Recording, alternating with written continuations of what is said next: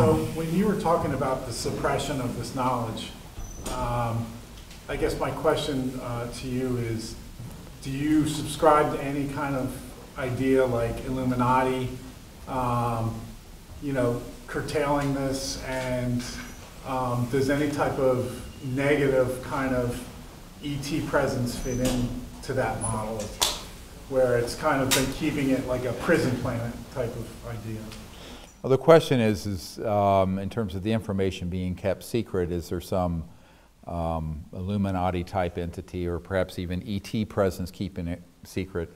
Uh, I doubt it in the way that it's the mythology, the internet mythology would say it is. Um, I think it has more to do with the fact that there are, let's say, called cartels, interest groups that are also competing interest groups, human, not ET, that don't want certain aspects of this out.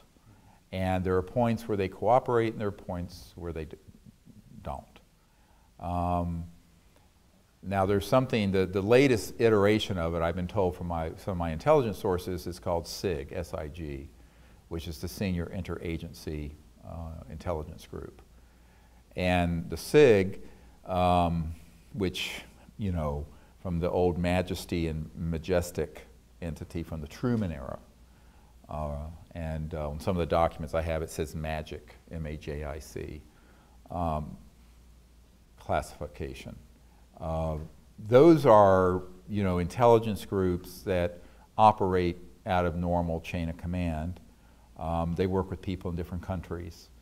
Uh, and then they will usually have representation from different interest groups, such as religious, technological, financial, um, macroeconomic, et cetera, and so on. Um, and so there's not a, there's a, a really a simplistic view that there's sort of like one group. It's the Bilderbergers, it's the Illuminati, it's the this. It was interesting because I, a few years ago I was at a meeting in San Francisco and it was after the Disclosure Project was launched. And Henry Dakin, who the Dakin Toy Company was hosting a sort of a reception at his loft in, um, in San Francisco. And um, Judith Skutch was there, who was the original publisher of the Course in Miracles with Marianne Will, and very big supporter, and her husband was a colonel.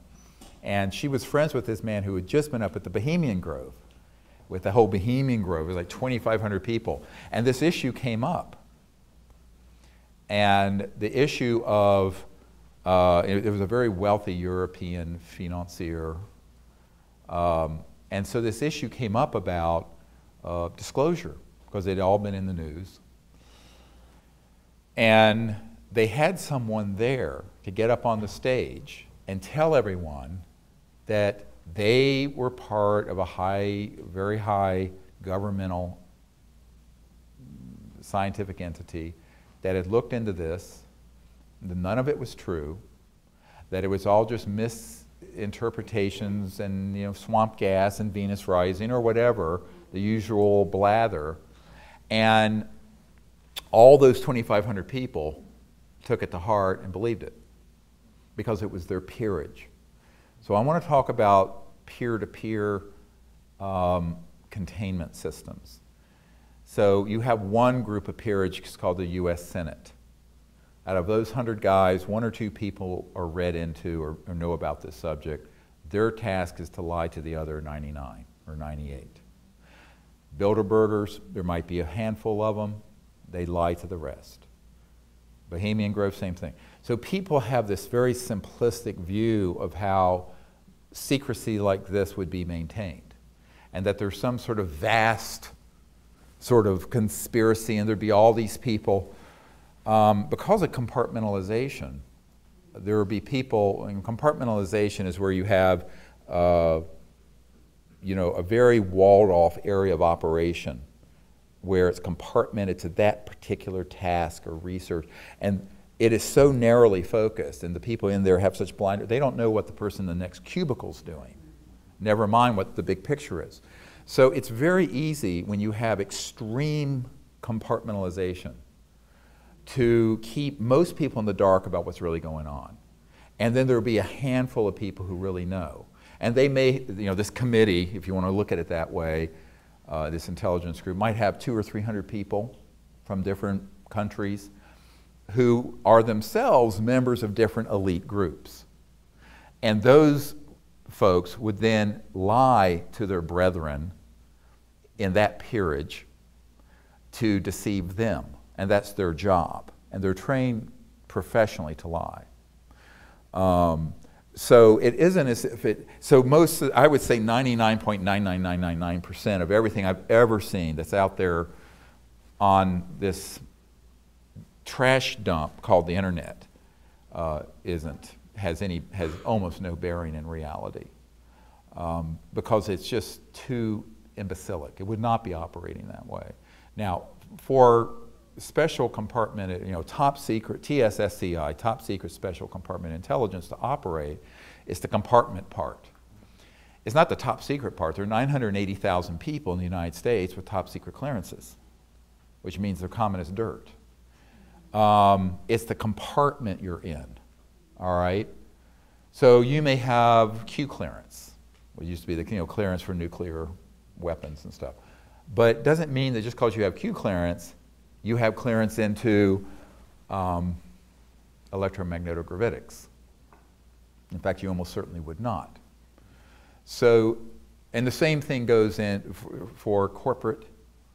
Uh, same thing goes for. I, it, it, was interesting. I was at, in San Francisco uh, at another time, and there was a woman who lived in Pacific Heights, the end of Broadway, where all the hundred million dollar mansions, you know, the Getty home and Larry Ellison, all these people live. And she was hosting her neighbors for a salon. And I was the guest for this dinner party. And, you know, I mean, there were all these people. And the guy on one side of me had been the chairman of SRI, Stanford Research International. And they had had contracts dealing with this issue. But he said, I was only the chairman of SRI, so I didn't have a need to know what was really going on.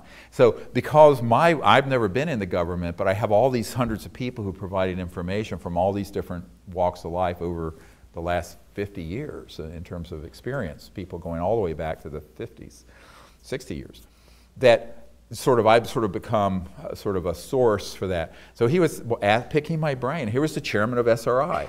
And then uh, across the table was the chairman of AT&T.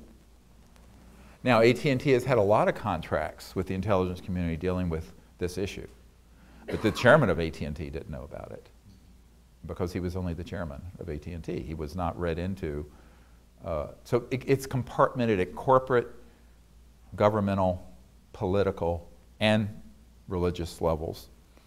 Um, and uh, it, it's not so simple that you, there would be some one entity you can name and then, you know, sort of vent your spleen. That group is. Now, the question of whether there are interstellar civilizations that are cooperating or uh, facilitating that, I'm very skeptical of. But it could be theoretically possible that in the early days, they were hoping that there would be some kind of uh, uh, rapprochement with uh, leaders, military or political, and have had, had had contact.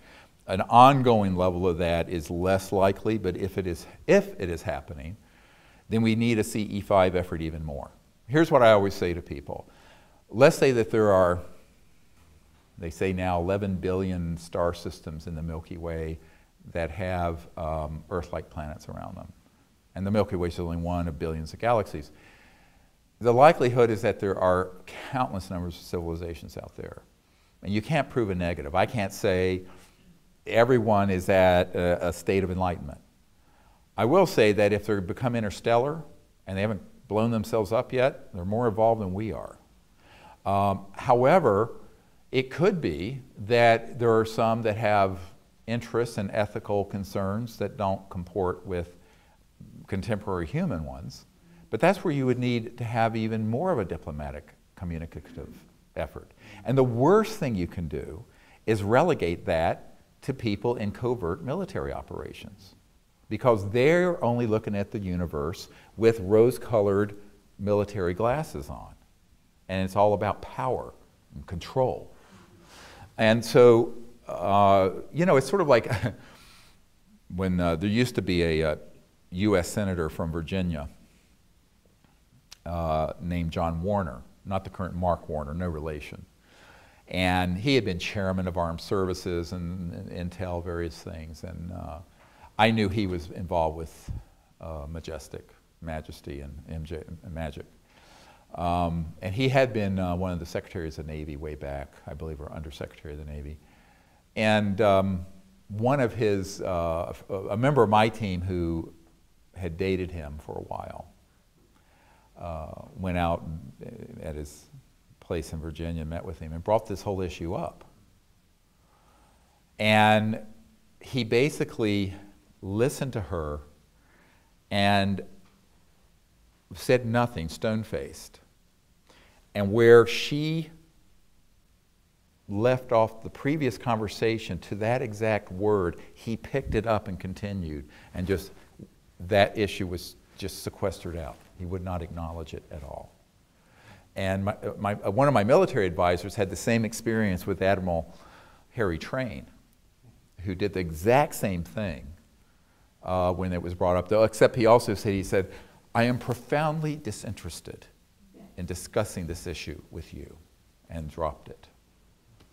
Okay, and that was the same admiral who was at Atlantic Command when we went to full code zebra because of these craft off the coast of uh, eastern coast uh, of the United States. Um, so I think that you know they're, they're very very disciplined about that, um, and I've met with a number of these sort of characters, and um, and yet you have other people like Senator Claiborne Pell, who the Pell grants anyone who was really poor like I was who got a Pell grant to go to college. Um, uh, I was at a dinner party with him. In fact, my wife and I were, were, there, and um, for Noetic Sciences Institute, and uh, um, after the dinner party, we went out on, on the patio of this beautiful home in San Rafael near uh, George Lucas's place, right next to Skywalker Ranch. And, and we were there, and, and Senator Pell and I were talking, and he just sort of epitomized noblesse oblige and was this wonderful guy, very, very genuine. Crossed the aisle, tried to do great things for the country, um, patrician, very great. And we were talking, and uh, you know, and he turned to me. He says, "Well, Dr. Greer, would you come and, and brief my staff on this?" Uh, and I said, "Well, sure, anytime you want me to." I, he says, "Because we've asked about this, and no one's ever told us anything." And he'd been on every committee. and and I and I was looking at him, and I looked up at the stars, and I looked at him, and I said, "You know, you've been deprived of dealing with the ultimate." foreign relations issue, and you're the chairman of the Foreign Relations Committee. And I pointed to the stars above my head, and he looked at me through those you know, horn rimmed glasses and blinked. And He says, Well, Dr. Grimm, I'm afraid you might be right. I said, Well, I am. And it was really a poignant, but really innocent, funny, but sad moment. That here's this guy, you know, had been in Congress or the Senate since the 50s, then been denied any information on this, who would have been a great interstellar diplomat. And instead, the wise, the enlightened, um, the peace loving people who should have been handling this got shoved to the side, relegated to the scrap heap of history. And the warmongers and the control freaks and the misanthropic money whores uh, I have a few other adjectives I'll leave off, uh, kind of took it over, which is what happened, as Eisenhower famously said, beware the military industrial complex. He was specifically talking about the fact he lost control over this and other issues in 1956 when uh, Nelson Rockefeller, the Rockefeller Commission, Laurance's brother, Nelson Rockefeller reorganized the Department of Defense and CIA under the Rockefeller Commission in 1956. So no president since 1956 has, has had, even if they've known about the issue, they have not had operational control over these projects. So it's been an unconstitutional, off the rails for the last almost 60 years.